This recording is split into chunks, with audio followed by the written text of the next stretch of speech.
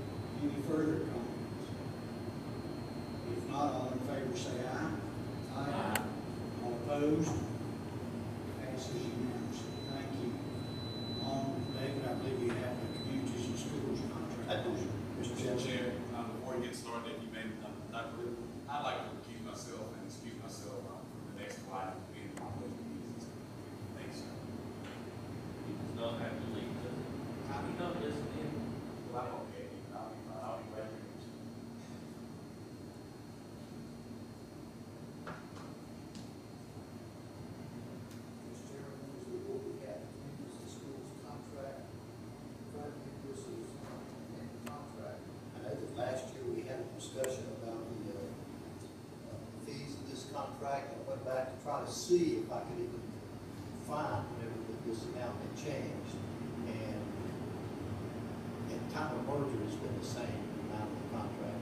How far we before that, I, I don't know. I just don't have records to go back to that. But, uh, we would respectfully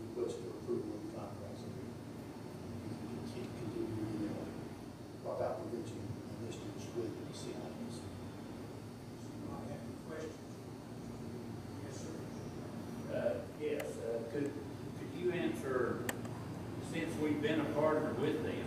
I'm all for getting all students closing the gap and everything like that. How much have we achieved with this partnership uh, as far as on that? Have you got any numbers showing that on the dropout or uh, closing the gap?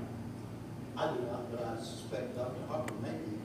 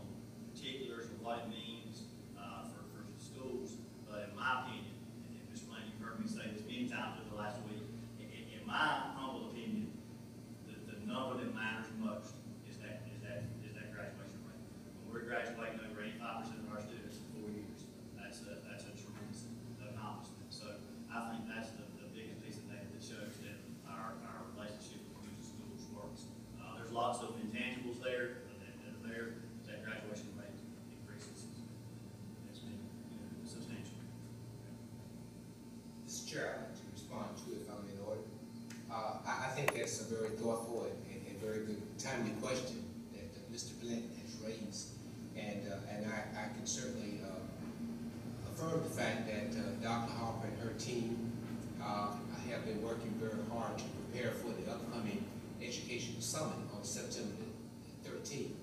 And that will highlight and profile all the different uh, indicators that addresses the closing gap, you know, including graduation rates, including uh, integrated performances. and I mean, just a very broad and comprehensive overview of how we're performing as a school district. And, uh, and, and so while we don't have all that information at this point in time, that information will be which is probably a good prelude to the fact that uh, I'm sure at some point in time we'll, be, we'll have another board meeting before the Education Summit, but certainly want to encourage all the board members and staff, and, as well as the community, uh, to come to that Education Summit. And there you will receive uh, the highlight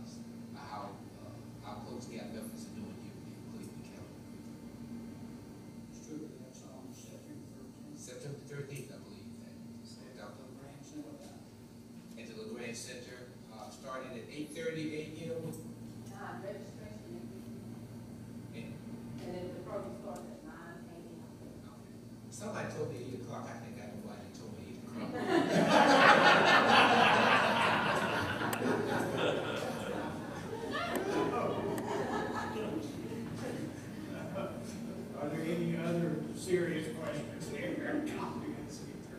Yes, sir. I'd like to say something just about the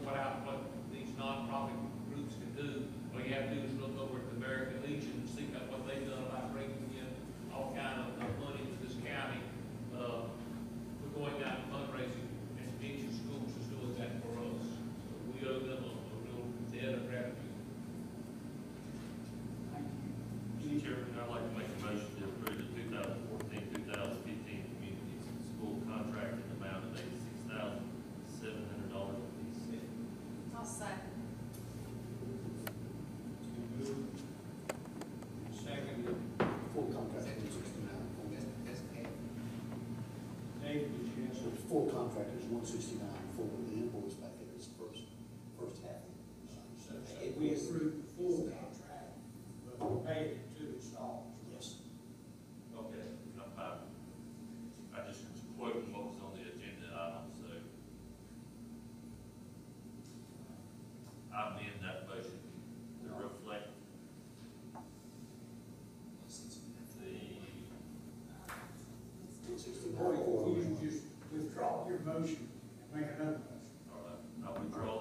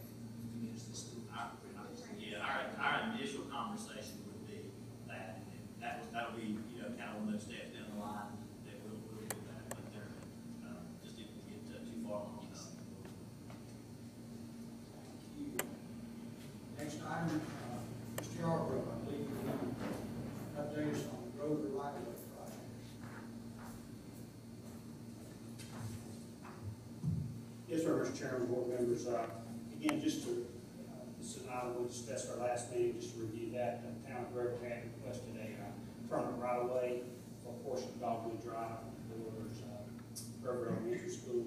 Uh, they need this in order to complete their Dogwood Drive construction project.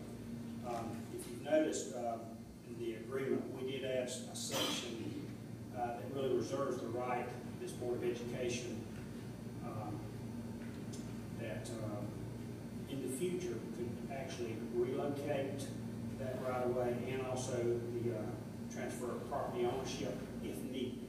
Basically, it just gives us the flexibility in the future that if we had to do a construction project in that area of campus, we would have the flexibility to uh, transfer this ownership back to Oklahoma County Schools. Uh, basically, it puts us in about the same position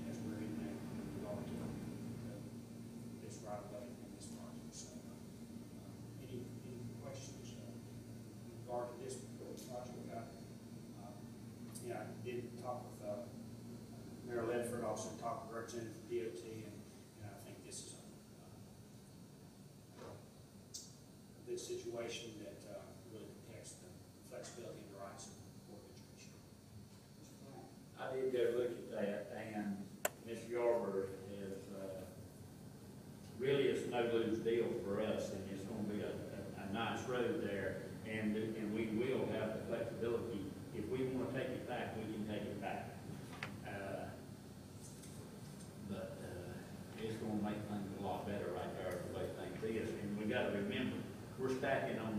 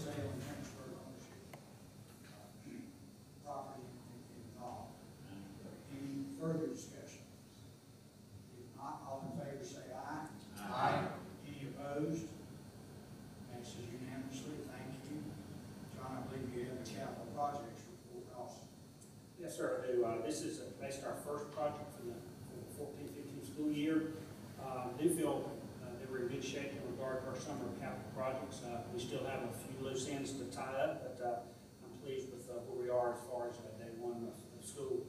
Um, highlight some of those projects for you. Uh, the new bleachers and the wood floor system at Crest Middle has been installed. Uh, did speak with uh, Mr. Smith today at uh, Kings Mountain Middle, and last week they had two sessions of orientation and uh,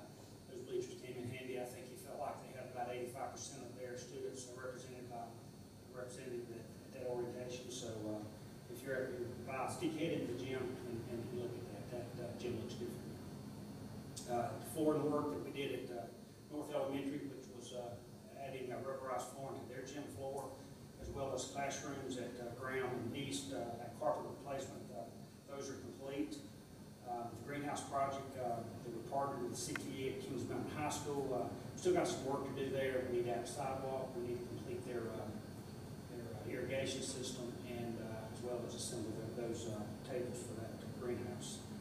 Um, Graham Elementary, uh, this summer, we did replace about a four hundred foot section of, uh, main sewer line from their main, uh, building. Um, Basically, this eliminates the original uh, line, which is terracotta tile. We've been battling roots in that system for, uh, for a while now, so hopefully this new sewer line will eliminate those issues there at, uh, at Graham Elementary. Uh, Kings Mountain High School, their quad unit has been set up, it's in place. We had set the end of September as a, uh, as a schedule to have that ready for, for students, and I think we're in a position to meet that schedule. Uh, we're still working with Duke Energy to get the, uh, the uh, electrical service in, then we'll do the, uh, uh, underpinning and uh, set the uh, grants and steps. Um, Crest Middle School, the uh, IP phones there have been installed. Those. I think currently they're using both their numbers, but hopefully uh, this Friday we'll convert over to the uh, 476 number. So we uh, able to get that school off our list as far as uh, IP phones. I know Mr. Bo Healer is still in the process of upgrading the lighting, the lights in the CPE wing, at Crest High School. I know the majority of those are in. We've got a few left in their woodworking shop area, and we'll work around them to complete that. Um, PE lockers Burns Middle School are on order. Uh, This project will allow us to replace and refurbish uh, all the lockers in the uh, boys and girls locker room there at uh, Burns Middle School. Um, We would like to give you an update in regard to Title IX. Um, Mr. Fisher, Dr. Fisher informed me that uh, Dale Rhines will be in town end of October to do a a final meeting and come in to review our progress in in regard to our non-compliance issues. Um, We still have uh, two projects that's coming nicely. Uh, The uh, softball dressing area at Kings Mountain High School, uh, they're in the uh, Strickland uh, constructions in the final stages of, out there today, doing some electrical work, some some painting. I know that there's going to be some punch list items that we'll have to address there, but I think we'll, we'll be able to meet that deadline. And then the uh, female field house also at Kings Mountain High School, lighting upgrades and painting are almost complete, the lockers are in. We'll still have to do some work in the restrooms and some uh, bathroom uh, petition stalls, uh, that installation. But we should be in good shape for our, our visit with Mr. Rhines in the, uh, end of October. And again, we'll keep, keep you up to date in regard to that process. Um, You can see a few safety and security projects, we don't talk a lot about that, the things that's going on at our schools. But I do want to bring you, uh, make note of one, uh, at Shelby Intermediate. We've actually gone on that campus and, added some security walls and doors that's really tied their three separate buildings together. We've actually created a little courtyard area that, uh, I think's gonna, uh, you know, work out well there. I know the, uh, administrators there are, are are pleased with this project. But if you buy Shelby Intermediate, go out and look at that. That's a, I've had that on the drawing board for a while. We're able to, uh, close to having that complete. So, uh, we've got a few other things we're working on and, you know, we're constantly looking at our campuses and trying to, to enhance, uh, school safety when we can. You know, we don't share everything out at this public meeting,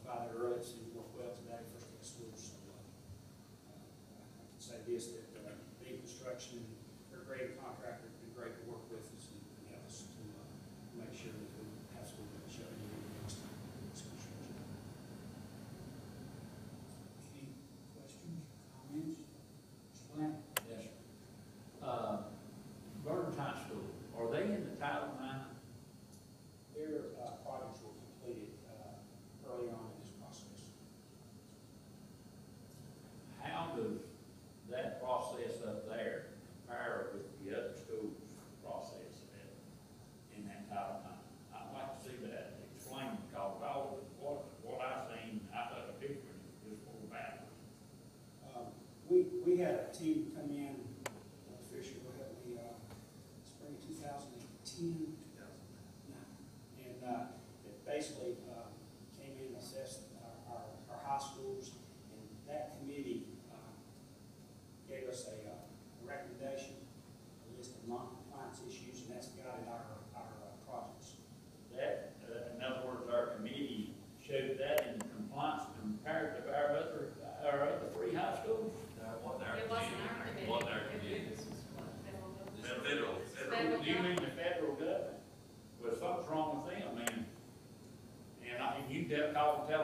through tonight because they got four bathrooms up there on the visitor side of the football field, and these other places has got uh, hundred thousand, two hundred thousand dollars worth of buildings, and they got four toilets. Uh, and I think Mr. Glenn, if you remember Title IX, uh, um, Title IX compliance looks at male sports versus female sports. Well, look at the baseball field up there.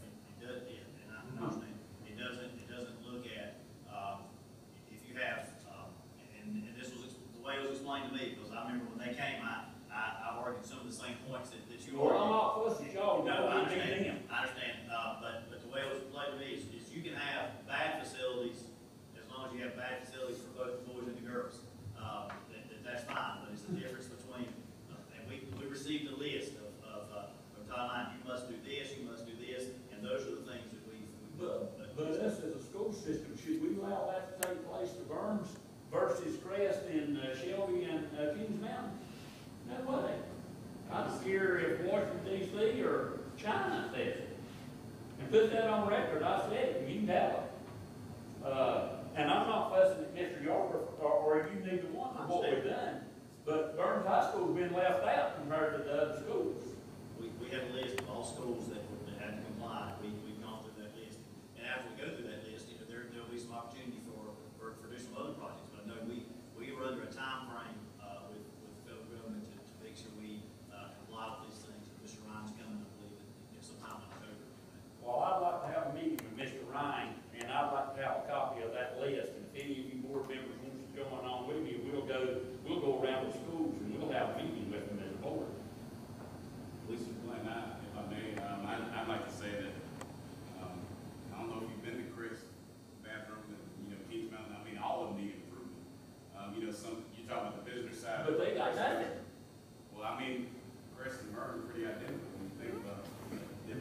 comes to that, not when it comes to what Title IX's done, nowhere in comparison. Some improvements need to be made in all of us, what I'm saying here. And our, and we've got a danger and a safety situation at Burns and at Crest on these, uh, press boxes. Uh, I don't know if Mr. Glover, if you might have been there and seen some of these steps that's going up in there. Uh, that right there is an issue that really needs to be looked at. Look at, uh, look, you look at Fort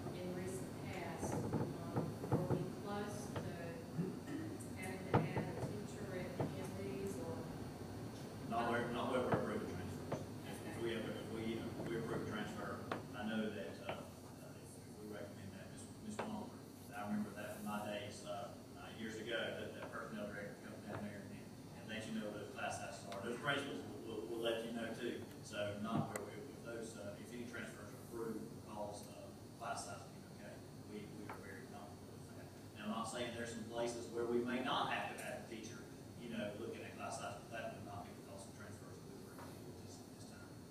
Just refresh my memory what the class size limits are at the elementary level. It's, uh, there's a, it has to be a district average of twenty-one, K three, and cannot achieve, go over twenty-five, is that correct?